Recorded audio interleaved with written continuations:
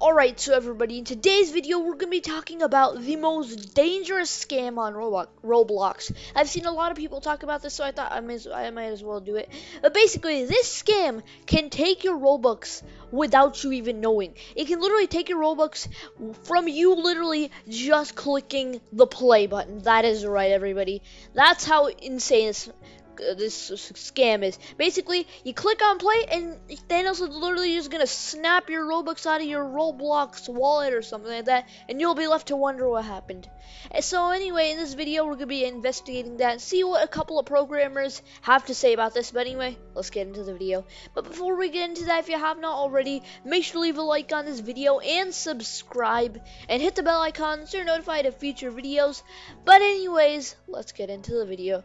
Now this whole crazy situation about the scam came up when a YouTuber, basically his name is Lost Motions, he created a video called titled "This is how I got scammed out of 200,000 Robux."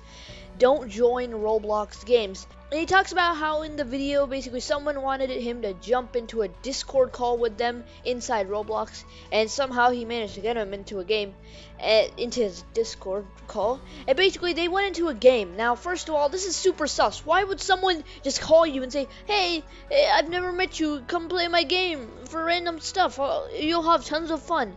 And basically, after that, there was actually a UI menu. It says play, and basically he said that after he clicked play, it, he nothing really happened, but he lost 100,000 Robux. He actually posted a basically a picture of the transaction. Now he lost 200,000 Robux because he clicked on it two times, which is uh, kind of unfortunate. Now it's obvious that he wouldn't just like randomly like just give someone 100,000 Robux. By the way, I'm pretty sure this is not inspect elemented because a lot of he's talked to a lot of other people in the star program. They believe him, and you know it seems pretty sus because you know awesome mini games don't purchase donations, and I'm pretty sure maybe he just maybe this is not true. Maybe he just randomly accidentally clicked on purchase something. and Maybe he just slipped up, but basically some Roblox programmers they basically talked about this and basically PZ Smithstick, a programmer, said issue type other impact very high frequency constantly. You know, and basically, yeah, he basically talks about that and impact is very high. That's that means it's a very dangerous scam. Now he goes on down to talk about expected behavior. Core GUI should never be able to be hidden behind user GUI. I think that's graphics user interface, something like that. I don't know. And it should never remain functional. Actual behavior. There is a purchase prompt hidden behind the user GUI that attempts to trick the user into buying an item.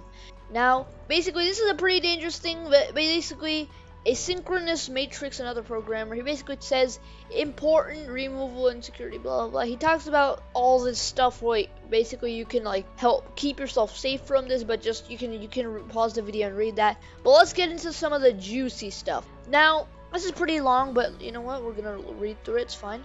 Basically, he said, how did this happen? This, this script is inserted into your game and infects your game.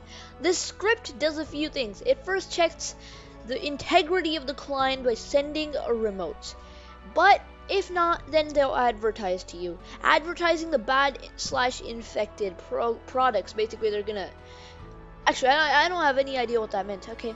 If they cannot advertise to you, then they will attempt to teleport them to one of their own games. Basically, in a random game, I think they're infecting models. Now, Roblox might have fixed it by now, but I, I don't know if they have because this they basically this is very dangerous. This could this scam has a lot of potential already, and I don't mean in a good way.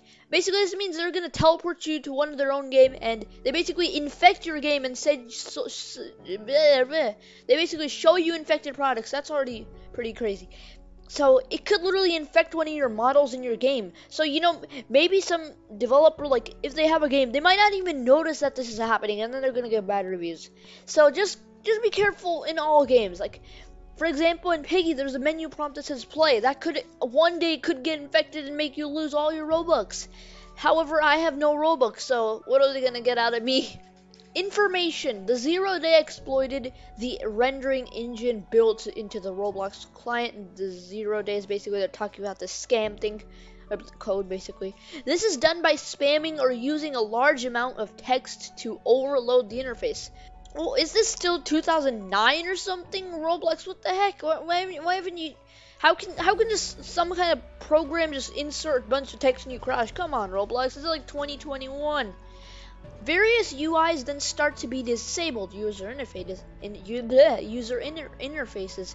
So basically, and eventually become invisible. Basically, this means that the Roblox Robux thing, Core UI, I think, it gets it becomes invisible somehow. I don't know why, but I'm pretty sure Roblox should like upgrade their computers or some systems or something like that. The reason the hackers can show their GUI is because of the z-index behavior property. They're displayed on an entire different system, meaning one system can die whilst the other is displaying fine. Roblox GUI is still on the first z-index, meaning that the rendering ability for that z-index is broken, but not for the other z-index. That made uh, that didn't really made, make a lot of sense, but okay. Many anti-cheats use this to hide their scripts, as when they're activated or viewed, their client ends up being crashed, and their top bar slash F9 console slash core UI crashes together.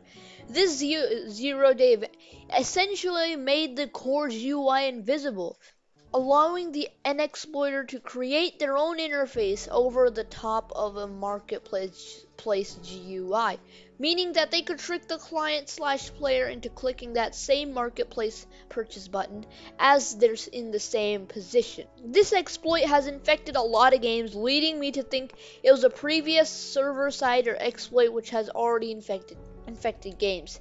They hook onto on unmuted default chat event and teleport the player to a new game.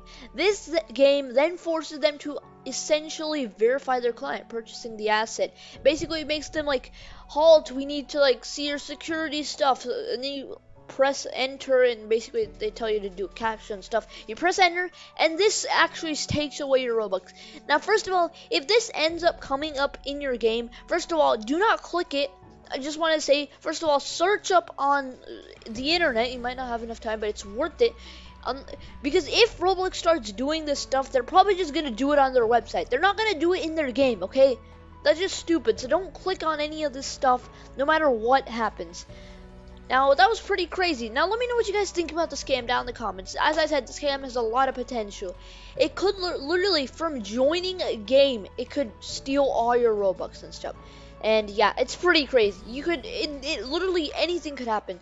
Now, let me know what you guys think about the scam down in the comments. But anyway, I'm going to see you guys in the next video. Make sure to leave a like and subscribe, and I'll see you next time. Bye!